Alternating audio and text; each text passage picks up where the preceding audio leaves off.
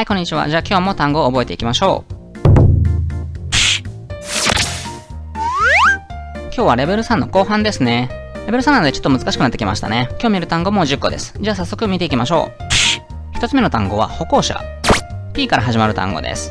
この自転車に乗ってる人のことはサイクリストとか言うんですけど、こっちの歩行者は pedestrian pedestrian っていう風に言います。歩行者。なんか僕昔これペデストリアンっていう風に覚えたんですけど、でにアクセントがありますね。pedestrian 歩行者つながりで横断歩道。C から始まる単語です。横断歩道は英語で crosswalk crosswalk っていう風に言います。横断歩道。通りを渡ることを cross the street とか cross the road って言いますからね。それを知ってれば覚えやすいと思います。crosswalk 今度は道路の両脇にある歩道。S から始まる単語です。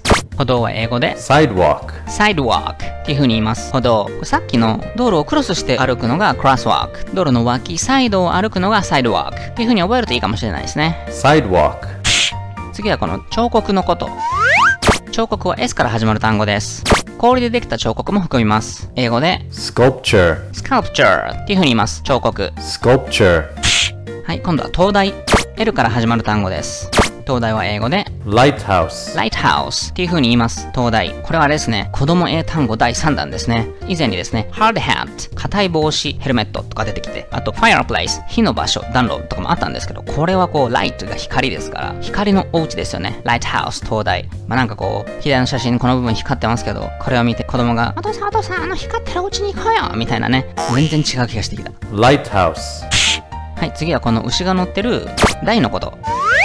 こういうデッキみたいなのもそうなんですけど、あとはこのヘリポートみたいな、普通の場所よりちょっと上がってる台になってるところのことを、英語では、プラットフォーム。プラットフォームっていう風に言います。段、デッキ、台なんですけど、ちょっと日本語にしづらいんですね。まあ、プラットフォームっていうと、もちろんこういう駅にあるプラットフォームも、プラットフォームっていう風に言うんですけど、まあ、これもあの、電車が走ってるところよりは高い場所にある台とも言えますよね。まあ、そういうのをプラットフォームっていう風に言います。段、デッキ、台。プラットフォーム。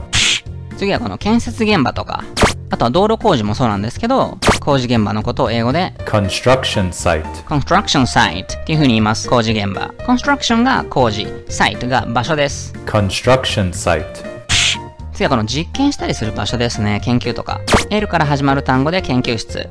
英語では laboratory laboratory っていう風に言います。研究所、実験室。省略して lab っていう風に言ったりもしますね。laboratory 次はこのビーチ。まあビーチっていうか、この部分、岸ですね。岸なんで、まあビーチだけじゃなくてこういう岩でできたとこも含みます。S から始まる単語。この写真で言ったら、まあこの辺りですかね。英語では shore shore っていう風に言います。岸。まあ特に海岸って限定したいときは seashore って言ったりもします。shore 最後の単語です。船着き場。D から始まる単語です。英語では duck duck っていう風に言います。船着き場。実は dock っていうのはどうしても使います。dock a boat 船を船着き場につける。ちょっと変な日本語ですけど。パート1では圧倒的に受け身で出ますね。a boat is docked 船が船着き場につけられてる。という風に動詞で使ったりもしますし、船着き場っていう名詞にもなります。duck はい、今日の単語は以上です。役に立ったなって思われたらぜひ高評価とかですね。チャンネル登録もぜひよろしくお願いします。じゃあ引き続き英語の学習を頑張っていきましょう。